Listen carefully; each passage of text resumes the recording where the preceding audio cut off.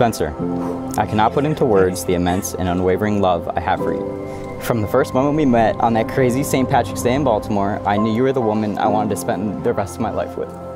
These past two years have put our relationship to the test, but through the thousands of airline miles, hundreds of days apart, and countless hours of FaceTime calls, our love for each other always stayed true. I promise to be the best husband, partner, father, and best friend you will ever hope for as we begin this new journey. In your arms and by your side, I know I can do anything. I'm proud to call you my wife. Tim, finally made it. Since the moment I met you, I felt a certain kind of calm, as if everything was going to be great. I have cherished all the moments that we've had together. I am so incredibly happy to say that I'm yours. I will cheer you on in every dream, and I will always put you first and give you my absolute best through the rest of my days. I love you so much. I love you so much. Try to be cool.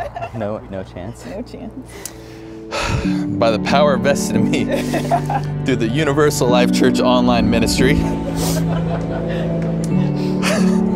I now pronounce you man and wife. You may kiss the bride.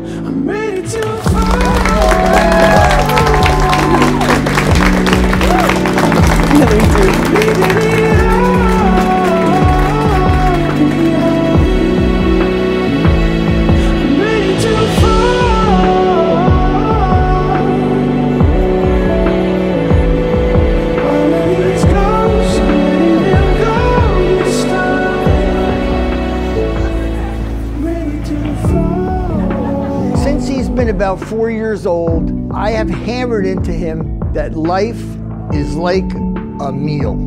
If you want to have a good meal, you have to take time to prepare it. I must have said that to him a thousand times. So, what I'd like to say now, you did it.